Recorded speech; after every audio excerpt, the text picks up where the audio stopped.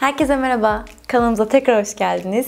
Uzun bir aradan sonra çok güzel bir makyaj videosuyla ve çok güzel bir sürprizle sizlerleyiz yine. O zaman vakit kaybetmeden hemen makyajımıza geçelim. Sonra sürprizimize.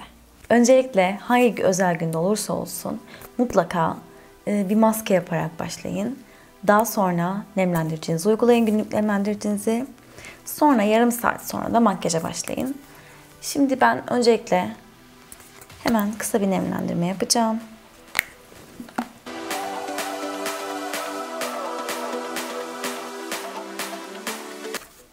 Daha sonra Benefit Professional kullanıyorum. Çünkü porlarımızın yani gözeneklerimizin görünmesini istemiyoruz. Pürüzsüz bir makyaj için. Tam gözeneklerinizin daha açık olduğu yerlere. Her bütün yüzünüze değil. Artık kişiye göre. Şimdi correcting işlemine geçeceğim. Yani cildimde e, kızarıklıkları, morlukları kapatacağım öncelikle başlamadan. Vermek istediğim birkaç ipucu var bu konuda. Eğer kızarıklıklarınız varsa yeşil kullanıyoruz. Eğer morluklarınız varsa göz altınızda turuncu renkli onları nötrlüyoruz. Ee, özellikle lise mezuniyeti ise mutlaka kızarıklıklarınız vardır. Onları yeşil renkli önce nötrlüyoruz. Bütün ürünleri aşağıda bulabilirsiniz bu arada.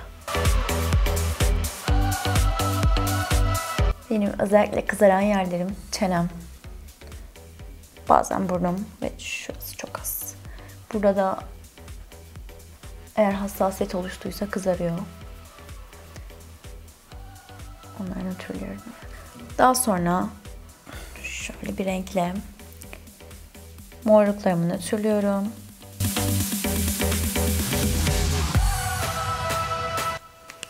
Böyle rengarenk olduk. Şimdi bunların üzerine kapatıcı uygulayacağım. Bunları tamamen kapatmış olacağım. Süngerimle yine.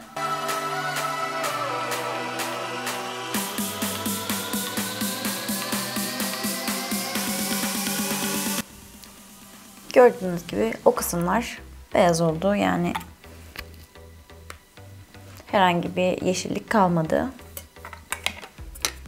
Şimdi ben aslında sadece bunu kullanacaktım ama şu an biraz rengim açıldığı için bu bana biraz koyu geliyor. O yüzden e, bu fondötenle ikisini karıştıracağım. Yine MAC 130 numaralı fırçamla uyguluyorum. İkisini bu şekilde karıştırıyorum.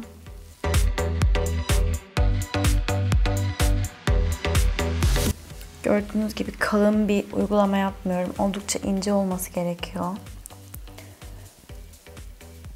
Mezuniyet makyajı diyoruz. Mezun olan kişiler genelde genç olacak. Kat kat makyaj yapmanıza hiç gerek yok. Yani fondötenle kızarıklıklarınızı ya da morluklarınızı kapatmaya çalışırsanız boş boşuna kat kat makyaj yapmış olursunuz. Bu şekilde rengi eşitleyerek kolayca hepsini kapatabilirsiniz.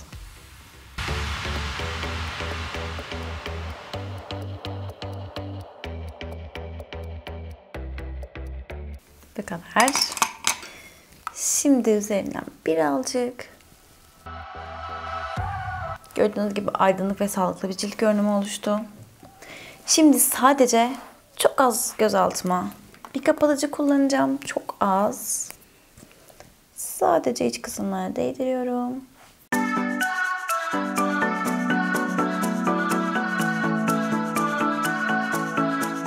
Daha sonra bu kapatıcıyı Benlay'ın Luxury Powder Cameo rengiyle sabitliyorum. Süngerimle hemen çok küçük sadece araları parlamasın diye. Eğer başka yağlanan yerleriniz varsa oraları da çok az uygulayabilirsiniz. Çok fazla değil. Çok az alnımızın ortasına. Biraz da çenemiz yağlanabilir. Orayı da sabitleyelim. Yediriyorum. Baking yapmayacağım. Sadece yediriyorum. Aydınlık ve fresh görünümlü bir makyaj istiyorum. Şimdi göz makyajıma geçeceğim. Öncelikle kaşlarımdan başlıyorum. Her zaman kaşları halletmek bana daha kolay geliyor öncelikle. Daha sonra rahatça gözümle uğraşabiliyorum. Kaşları da doğal bir doldurma yapıyorum. O yüzden MAC'in Orb farını kullanıyorum. Soğuk renkleri, mutlaka soğuk renkleri tercih edin kaşlarınıza. Doğal bir görünüm için.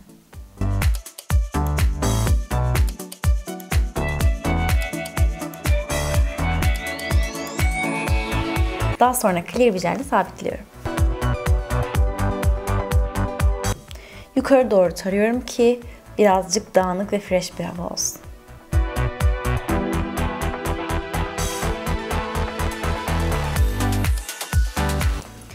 Kaşlarımız bitti. Hemen e, MAC Paint Pot Painterly rengini kullanıyorum ve göz bazımı oluşturuyorum. Göz bazı neden önemli? Çünkü bütün gece makyajınız kalacak. Ya da gündüzse bütün gün kalacak. Makyajınızın daha sabit kalması için, e, çizgilere dolmaması için gözünüzdeki. Özellikle terleyen ya da çok katlanan bir göz kapağınız varsa mutlaka baz kullanın. Bazımı sürdüm. Öncelikle doğal bir renkle hemen bir geçiş rengi uygulayacağım. E, bu arada eğer dediğim gibi terleyen bir göz kapağınız varsa mutlaka siz e, yine bu göz kapağınızın renginde bir farla onu sabitleyin. Ya da pudra ile olabilir. Kullandığım tüm renkleri aşağı yazacağım. Yine oradan bakabilirsiniz.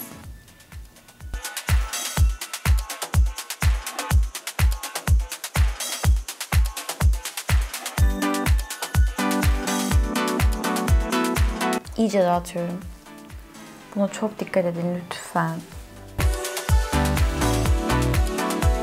İlk farımı sürdüm. Şimdi ikinci olarak açık renk bir far sürüyorum ikinci olarak. Gözümün iç kısmından göz kapağıma doğru yaydırıyorum.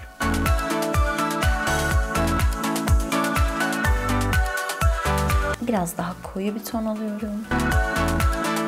Bunu özellikle böyle anlatıyorum ki siz istediğiniz tonlarda yapabilirsiniz. Yani illa bu renklerde yapmak zorunda değilsiniz. Bu sıralamayla istediğiniz tonlarda aynı makyaj yapabilirsiniz. Dediğim gibi ben bugün biraz daha fresh bir makyaj yapacağım. Tüm renkleri yine 224 numaralı fırçamla karıştırıyorum. Koyu kahverengi bir far alıyorum. Elinizde olan herhangi bir far olabilir. Bir karıştırma fırçası kullanacağım. Herhangi bir kart kullanabilirsiniz. Ben bunu buldum şu anda. Sehpamda bunu kullanacağım. Bu şekilde yatay yönde farımı sürdüm. Böyle kalmayacak. Ama öncelikle bunu yapmanız gerekiyor. Diğer tarafa da aynı şekilde yapacağım.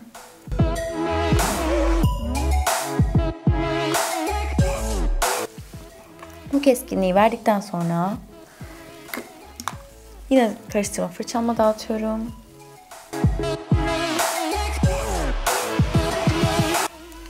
Şimdi karıştırma fırçamla yine aynı renk farı alıp biraz daha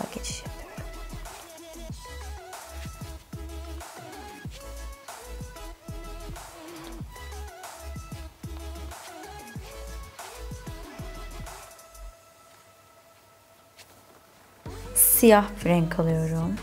Çok az. Ve tam bu kısma sürüyorum.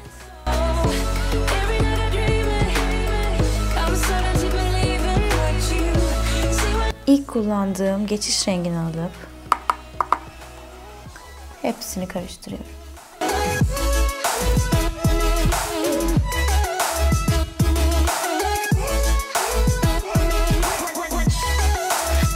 Güzel. Şimdi birazcık pigment ekleyeceğim. MAC Melon pigment ekliyorum ben. Çok az karıştırma paletime döküyorum. Ve üzerine MAC Fix Plus sıkıyorum. Far fırçamla bunu yapıştırıyorum ve böyle likit bir hale getiriyorum. Jel gibi. Gözümün iç orta noktasına uyguluyorum. Bunun verdiği parlaklığı maalesef hiçbir par veremiyor. Tabii ki pigmentler aynı zamanda dayanıklı da farlara göre. Kuru bir fırça alıyorum ve farların birleştiği yeri yumuşatıyorum. Yine açık bir renk alıp açık kahve. Şöyle bir geçiş.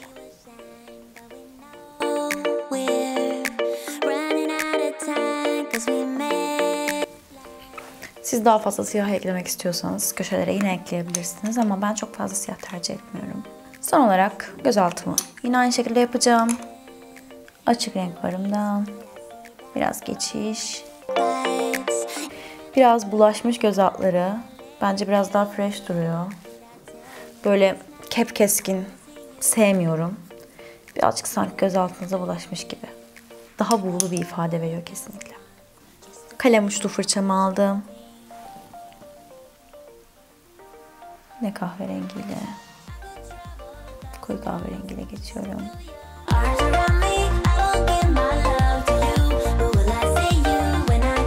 Köşelere yine çok az siyah uygulayacağım. Ve daha sonra dağıtacağım tabii ki bunu.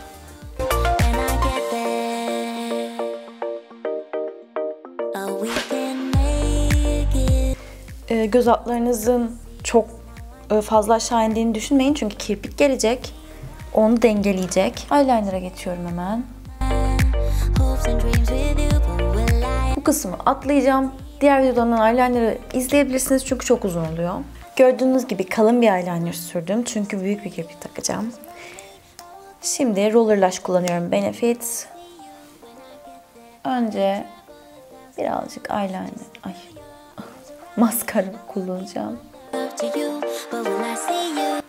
Çok fazla değil. Çünkü kirpik kullanacağım için. Sadece biraz kirpiklerim kıvrılsın diye yukarı doğru.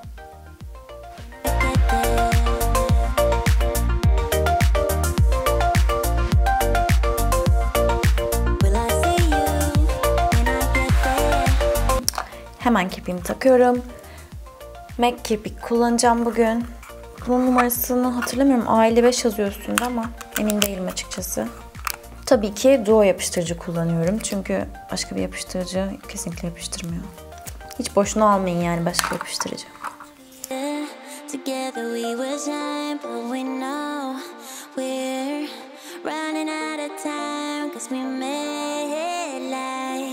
Şimdi kirpiklerimi yapıştırdım. Hemen üzerinden likit eyelinerla geçiyorum. Ki daha doğal görünsün.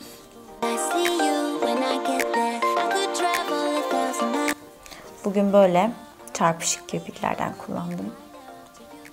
Biliyorsunuz bu sene bunlar bayağı bir moda oldu. Her yerde bunlardan var. Hemen alt kirpiğime kullanıyorum. Eğer biraz daha buğulu gözler istiyorsanız içine kalem ya da eyeliner çekebilirsiniz. Şimdi hemen kontüre geçiyorum. Çok kısa, ağır bir kontür yapmayacağım. Krem kontürü yapıyorum sadece. Yine yüz tipinize göre ihtiyacınız olan bölgelere yapabilirsiniz.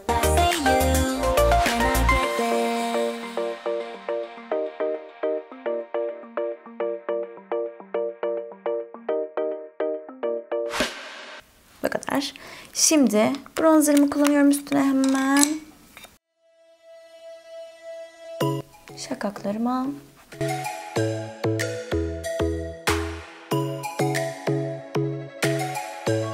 Hemen allığımı kullanıyorum.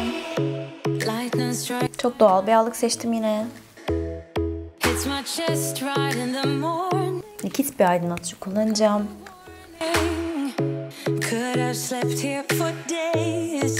Temiz kısmıyla hemen.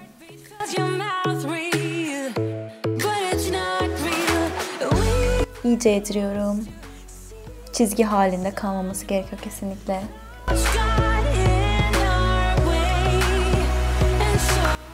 Gördüğünüz gibi iyice yedirdim. Şimdi hemen Make Soft and Gentle'la üstünden geçeceğim. Ki bütün gece ışıldayalım. Düz bir çizgi halinde kullanmıyorum gördüğünüz gibi. Sürekli yediriyorum.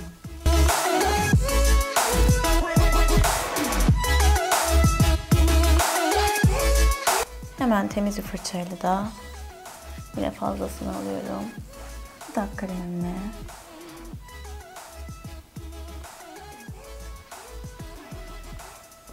Hızlıca geçtim.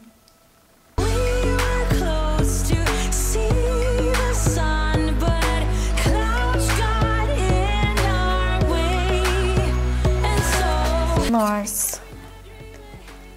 Raquel kullanıyorum.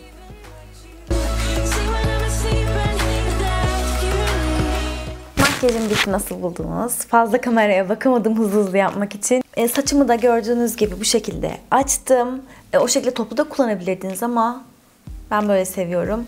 Bu sıralar biliyorsunuz böyle yapıştırılmış saçlar çok moda düz. Hemen çekilişimize geçelim. Çok güzel bir sürprizimiz var size. Modabuymuş.com'la birlikte size bir ayakkabı hediye edeceğiz. Şurada gördüğünüz bu güzel ayakkabıyı. Bunu özellikle seçtim. Ben aslında bu ayakkabıdan uzun zamandır almak istiyordum ama istediğim gibi bulamıyordum.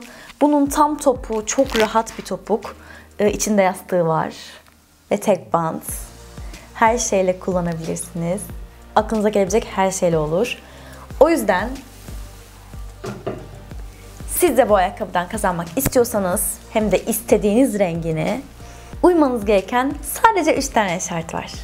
Modabuymuş.com'a üye olmak ve bilgilerinizi tam ve eksiksiz doldurmak. Çünkü eğer hediyeyi kazanırsanız tekrar bilgilerinizi almayacağız. Oradaki bilgileri kullanacağız. O yüzden lütfen doğru doldurun bilgilerinizi. Adres bilgilerinizi, adınızı, soyadınızı, her şeyinizi doğru doldurun lütfen. Takip etmeniz gereken 3 tane Instagram hesabı var. Öncelikle modabuymuş.com Instagram hesabını, daha sonra Merve Görgöz ve Samet Görgöz Instagram hesaplarını takip etmeniz yeterli. Moda Buymuş Instagram hesabında bu arada her hafta bir kişiye ayakkabı veriyorlar. Bunu da sakın kaçırmayın. Özellikle takip edin. Son şart ise kanalımıza abone olmak. Bu kadar basit. Ve tabii ki sizi bulabilmemiz için videonun altına mutlaka katılım yazın. Bunu unutmayın sakın. Lütfen çekilişin bitiş tarihi ve tüm detayları aşağıdaki kutucuktan öğrenmeyi unutmayın. Bir sonraki videoda görüşmek üzere. Hoşçakalın. Herkese iyi şanslar.